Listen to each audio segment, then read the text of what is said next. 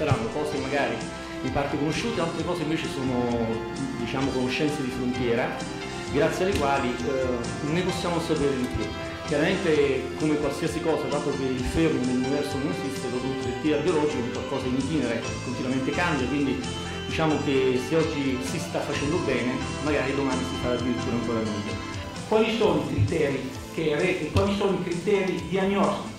Come vedete la mia eh, non è la medicina che vuol trovare il rimedio come fa l'omeopata classico, che studia, come posso dire, la tipologia, che è una bellissima medicina, eh? però non è nel mio DNA perché io vengo dall'ospedale, dall'ospedale 22 deve fare 4, se no sbagli parecchi, da parecchie parti. Io vengo dal lavoro che ho fatto in ospedale, in ospedale i conti devono tornare. E qui eh, diciamo, l'applicazione che ho fatto io a questo tipo di medicina è trovare il modo di far quadrare i conti, per il bene del paziente, non per il bene mio. Grazie a Barbara Bonardi e Arcangelo Miranda per aver organizzato questo evento e io non ci contavo neanche più perché dopo gli entusiasmi degli anni Ottanta dove da medico e dentista specializzato a Vienna utilizzavo sui miei pazienti amalgama, titanio, palladio e tutti questi bei materiali che ci dicevano essere super sicuri anche se avevano qualche teschietto nel caso dell'amalgama. Anche se dovevamo chiamare rifiuti speciali quando la smaltivamo erano strasicuri c'era l'ordine dei medici, dei dentisti perché io ho fatto il medico per aiutare la gente. E se mi danno un prodotto tipo l'amalgama per cui io finisco a non poter più camminare come mi è successo e siccome ero del deltaplano avevo già studiato un, un, il volo ehm, esteso, i paranchi per lavorare così, quando ho fatto l'esame per mercurio che erano le stelle mi sono accorto che io mi stavo intossicando di mercurio mettendo mercurio miei pazienti. Grazie di essere qua. Dopo quasi 11 anni eh, si ripropone una platea importante a, a temi che eh, sono ancora qualche misura criptati e questo mi fa piacere, grazie a tutti. Ehm, vi chiederei un applauso ancora per Antonio Miklavez perché ehm, lui è stato il promotore di, eh, dei temi che eh, tutti noi oggi portiamo avanti, ha avuto il coraggio, la forza, ha pagato in prima persona, come del resto qualche volta abbiamo pagato anche noi, a dire la verità. Esigenza che noi dobbiamo avere parlo di noi operatori. Nel nostro lavoro è di identificare quali siano effettivamente le problematiche che possiamo provocare noi, prima di tutto. La diapositiva di prima è semplicemente perché chi vi parla eh, ha dovuto subire sulla propria pelle il danno del mercurio per poter capire quello che stava combinando con la propria attività. E e io sono diventato il cambiamento che voglio portare avanti. Come funziona l'interpretazione di un mineralogramma? Questa qui è la parte che riguarda la risposta a livello di livelli, cioè quanto ce n'è di calcio, quanto ce n'è di magnesio, quanto ce n'è di vari elementi.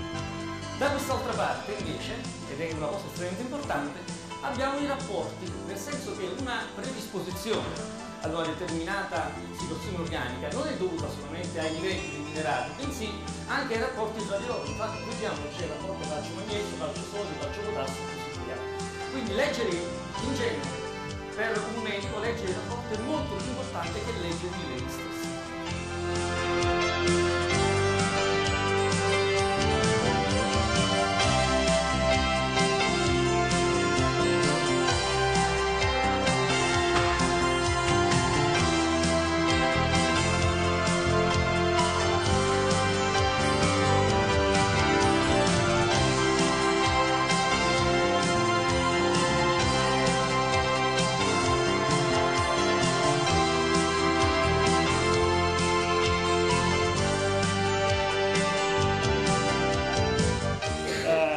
Attimo vi parlerò appunto di un po' di odontoiatria pratica, cioè di una serie di ragionamenti, pensieri e protocolli che servono per andare a togliere queste otturazioni in amalgama di cui avete sentito parlare in eh, una serie di relazioni precedenti alla mia eh, e fare tutto ciò il più possibile in sicurezza.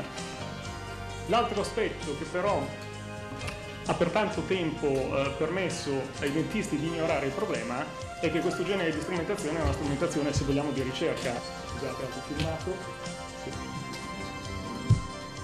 Questo è un dente tipo quello di prima con un'otturazione di amalgama che è stato sfregato con una certa forza sull'otturazione di amalgama e che con una tecnica in assorbimento atomico, cioè l'utilizzo di ultravioletti specificatamente disegnati e tagliati per rendere visibile eh, il mercurio, ci permette di osservare questa emanazione di fumi che è esattamente quello che accade continuamente nella bocca dei pazienti.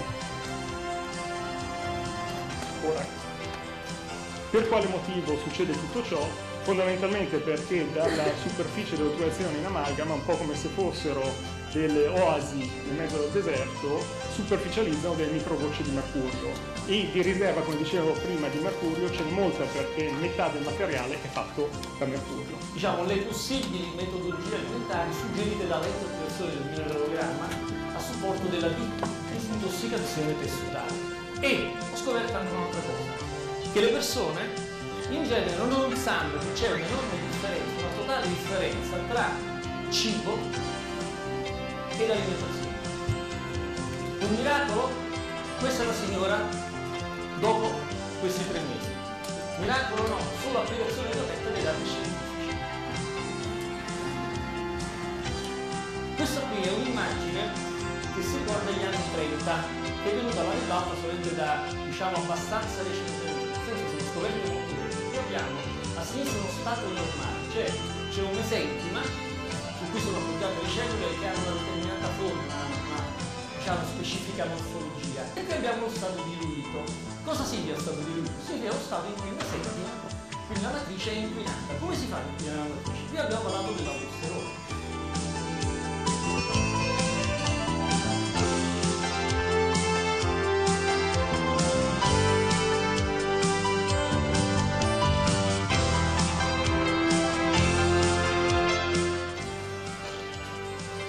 Capita di trattare, come eh, i colleghi che mi hanno preceduto e che parleranno dopo di me, anche pazienti che hanno patologie, cioè non quelli che semplicemente hanno deciso a un certo punto che non volevano più amalgama nella loro vita, ma persone in cui si suppone che parte del problema sia proprio l'intossicazione d'amalgama. Un filmato per farvi vedere cosa succede, abbiamo provato a fare una simulazione, cioè il mercurio non si vede, abbiamo preso un manichino odontoiatrico, paziente ideale, non protesta mai, e eh, gli abbiamo fatto emettere fumi, in questo caso da teatro, direttamente dalla bocca.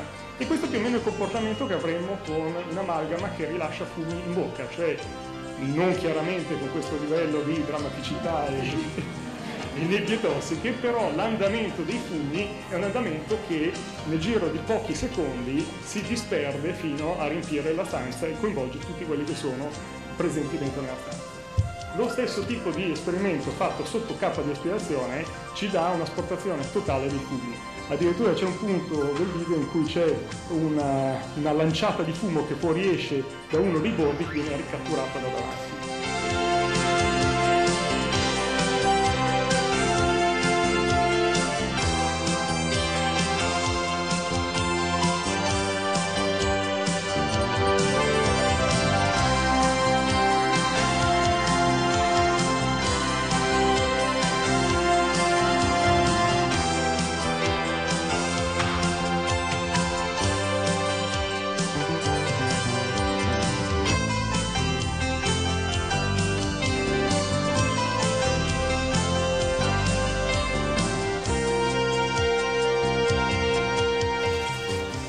Quanto riguarda le informazioni circa la medicina informazionale del dottor Baldari, potete fare riferimento al sito timea.it.